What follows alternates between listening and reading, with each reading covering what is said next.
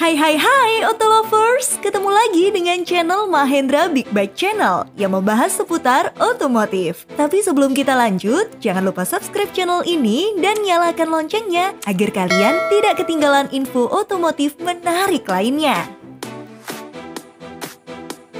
Semakin keren! Yamaha Krypton menolak punah nibrosis, di mana pada motor legendaris dari pabrikan Yamaha ini telah hadir kembali atau reborn loh. Dan pada kali ini motor legendaris tersebut dirilis kembali dengan desain yang lebih fresh dan sporty dari generasi sebelumnya yang berdesain mengotak. Sebut saja seperti desain single headlampnya pada kali ini dibuat lebih sporty namun sayangnya masih menggunakan pencahayaan halogen. Lalu pada bagian panel instrumennya meski terlihat lebih modern, tapi masih mempertahankan panel instrumen konvensional seperti pada generasi sebelumnya. Beralih di bagian dashboard depannya, Menariknya, terdapat kompartemen penyimpanan layaknya yang ada pada motor metik masa kini brosis.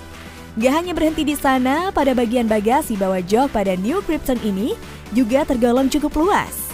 Lanjut pada bagian stop lamp dibuat sedikit lebih futuristik meski masih menggunakan sistem halogen juga. Sedangkan untuk urusan suspensi menggunakan suspensi teleskopik pada bagian depan dengan velg 17 inci dan ban 70 per 90 serta pengereman cakram.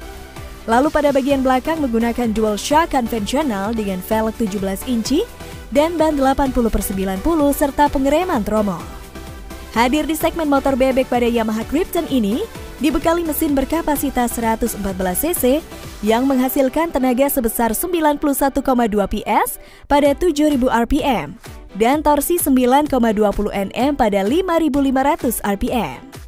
Dan yang terakhir brosis, untuk urusan harga pada new Yamaha Krypton ini, sayangnya belum diketahui brosis.